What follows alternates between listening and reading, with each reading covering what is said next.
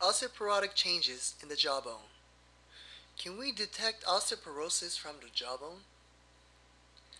Now, osteoporosis is a condition characterized by low bone mass and microarchitectural deterioration of bone tissue, leading to enhanced bone fragility or increased risk of fracture.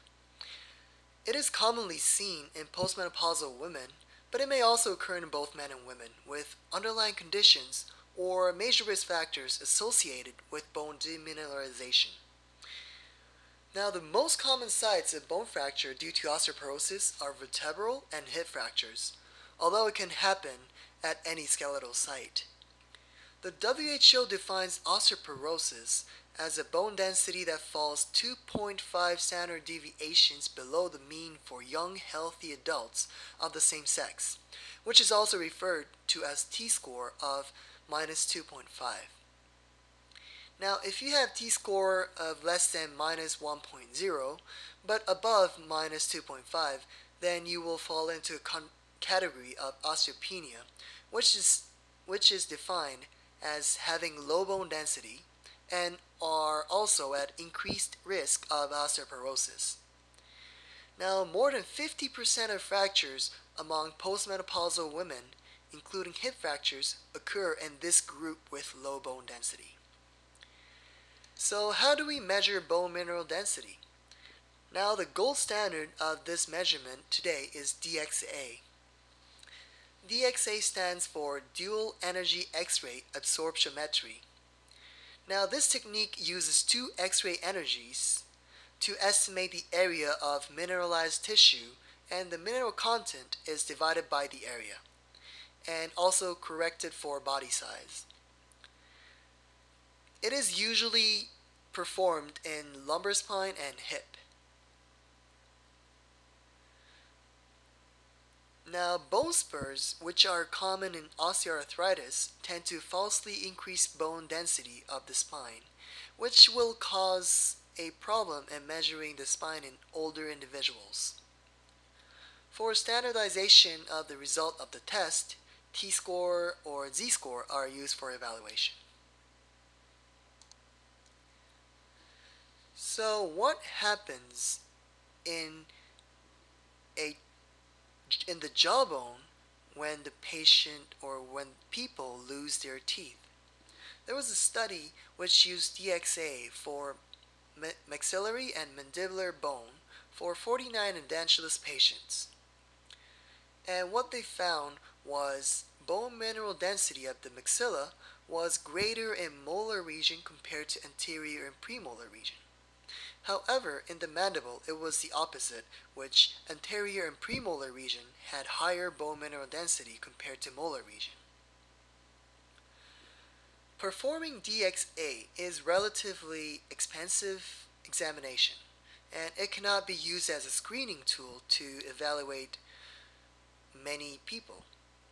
So, as a dentist, what thought we might be able to do is because we take panoramic x-ray frequently, we thought maybe we can use this as a screening tool to see if we can refer the patient out for a further evaluation if we see something going on in the panoramic x-ray.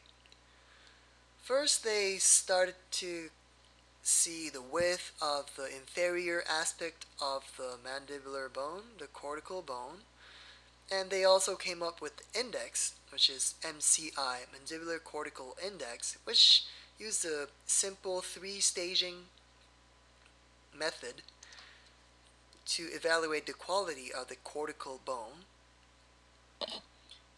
and also cortical width at the mental foramen to standardize the measurement of the mandible or they came up with PMI, which is the ratio of the thickness of mandibular cortex to the distance between the mental foramen and the inferior mandibular cortex.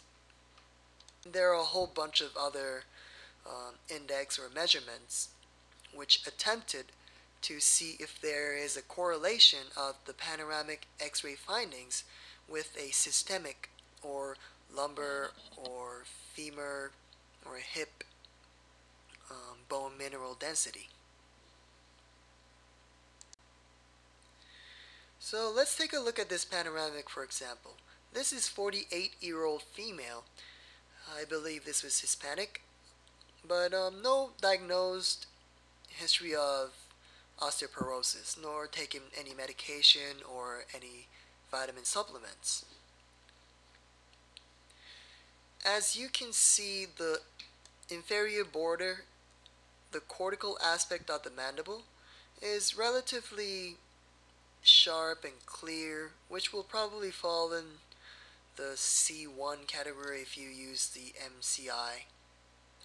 But if you see this type of patient, you will probably not going to refer this patient to a internist for a further evaluation. Now let the next patient, which is a 70 year old female with BRONJ, um, bisphosphonate related osteonecrosis of jaw. And this is the lesion you can find here. So obviously this patient has been taking bisphosphonate, which is a medication for osteoporosis. So this patient had a diagnosed osteoporosis. Now if you look at the inferior border, cortical border of the mandible, you can see the endosteal aspect of the cortical bone is resorbed, which will which presents C3 category in MCI. However, if you look at the inferior cortical width of this mandible under mental foramen, this seems pretty thick. However, panoramic has a distortion of the image and when you measure this width of the cortical bone of the mandible, what they usually do is they make the patient bite on the 3.5 millimeter ball bearing on the premolar region to standardize those um, distortion. And since this patient does not have that in this panoramic, we cannot um, evaluate the width of the cortical aspect of this mandible. Now let's take a look at the next patient, which is 79 year old female, again with BRONJ lesion, meaning she has been diagnosed as osteoporosis and taking oral or IV bisphosphonate. Now, it is very hard to evaluate her cortical, inferior cortical aspect of the mandible. And also, we can't really see where her mental foramen is. And this type of panoramic x-ray, there is no way we can evaluate. So can we use panoramic x-ray image to detect osteoporosis? First, we have to understand that structure of alveolar bone is largely influenced by the presence or absence of teeth especially in the tooth-bearing regions. So it is quite hard to look at their trabecular patterns or the density of the bone to see if the patient has osteoporosis or not. And any other bones in our body doesn't change like it does in our jawbone. And also the quality of the jawbone is also influenced by the presence of inflammation or infection. So it is questionable to assume that we can standardize this quality or the density of the jawbone to assess the systemic bone mineral density.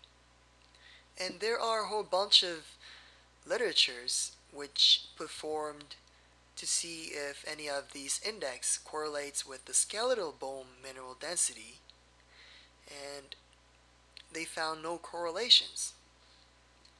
As opposed to these publications, of course there are literatures which found correlations between these indexes. or indices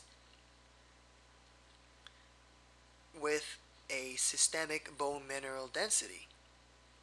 So there are people who suggest it correlates and there are people who suggest it does not correlate. But here, what we are forgetting is that osteoporosis is not just a single factor disease or change in our body. It can be emphasized or it can be reduced um, if from the ethnicity or people's um, daily life, the age, gender, or if they use um, systemic corticosteroids, and there are many factors that changes the bone mineral density or the risk of de developing osteoporosis. So what we need to do is not only look at the panoramic X-ray, but we have to look at more multifactorial, multidimensional aspect of this condition, osteoporosis. So what physicians are using clinically to assess if the patient needs to be treated for osteoporosis or not is they don't only use the bone mineral density now. They use this tool called FRAX.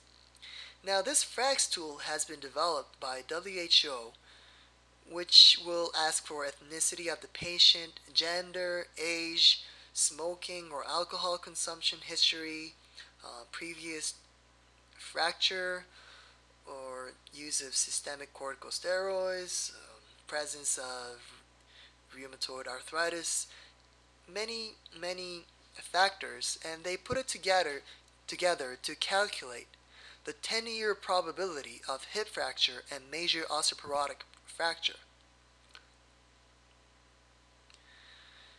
If we are to use the panoramic x-ray and